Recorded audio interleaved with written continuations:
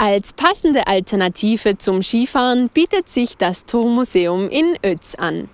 Mitten im historischen Ortskern von Ötz gelegen, gilt der Turm, in dem das Museum untergebracht ist, als eines der wertvollsten Häuser. Der Schwerpunkt des Museums liegt dabei auf Kunst, Kultur und Geschichte aus dem Ötztal.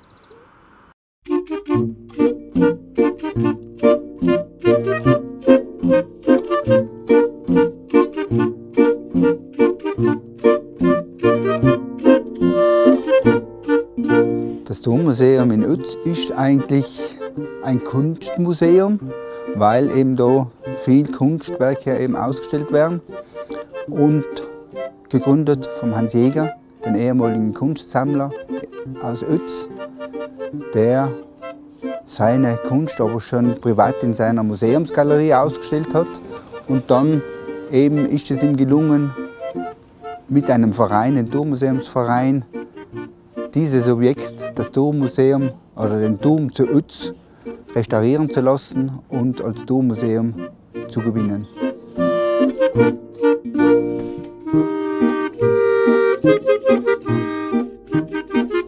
Ja,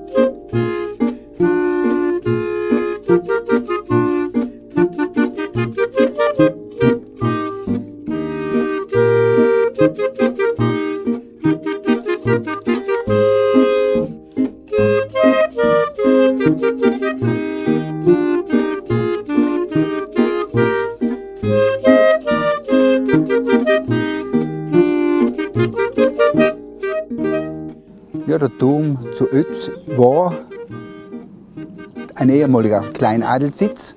Er baut schon im 14. Jahrhundert, Mitte des 14. Jahrhunderts, war noch ein paar Generationen, wo eben die Adelsfamilie gelebt hat, äh, wurde es dann veräußert und das Klosterverein Chiemsee hat das an sich genommen und hat äh, den als Verwaltungshaus für ihre Besitzungen in Ötztal verwendet und es wurde auch gebraucht als Depot für die Abgaben der äh, Bauern, die eben den Kloster zinspflichtig waren. Das Dommuseum ist wie gesagt ein Kunstmuseum. Ist vorwiegend sind Kunstwerke da zu besichtigen. Die Kunst hat nicht nur zum Ötztal eine Verbindung, sondern allgemein zum Ötztaler Alpenraum. Das war ja das Prinzip von Hans Jäger, Kunst zu sammeln, die mit dem Ötztaler Alpenraum zu tun hat. Ein großer Bereich ist die alpine Landschaftsmalerei, die es schon Werk zeigt aus dem Ende des 18. Jahrhunderts. Und natürlich haben wir viele religiöse Kunstwerke im Haus. Wir zeigen aber auch äh, ein Wohngeschoss mit, äh, in einem Ambiente um den Anfang des 19. Jahrhunderts. Und wir haben auch einen Gedenkraum eines großen Barockbildhauers, nämlich Matthias Bernhard Braun, der in Sautens geboren wurde, 1684 dann nach Böhmen ausgewandert ist und in Prag zu äh, beruflicher Blüte gelangt ist. Sein Schlüsselwerk kann man bestimmt nennen, war die heilige Luitgard, die auf der Karlsbrücke steht in Prag ein weiteres großes Werk ist der heilige Ivo, der steht auch auf der Karlsbrücke in Prag.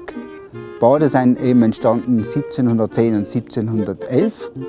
Und es gibt natürlich viele Werke in, in Adeling-Behausungen, aber auch in Kirchen, in Klostern und vieles ist heute natürlich in, den, in dem Museum zu sehen.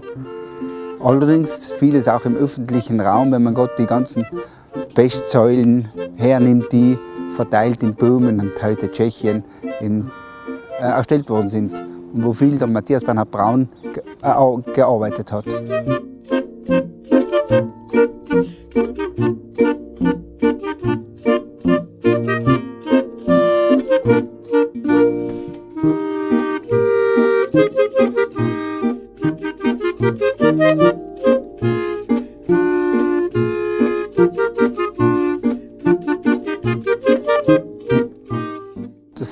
Museum in Ötz ist im alten Zentrum von Ötz, das noch von vielen historischen Gebäuden äh, praktisch bebaut ist. Wenn man Gott das Gasthaus Stern hernimmt oder das alte Gemeindehaus, was äh, auch ein, das sind Häuser, die eben schon aus, aus dem mittelalterlichen Charakter noch haben. Da steht er praktisch im Zentrum, nicht weit von der Kirche. Die Kirche ist ja erhöht in Ötz, die als praktisch als klerikales Zentrum gegolten hat und der Turm zu Ötz war das äh, weltliche Zentrum in Ötz, kann man sagen.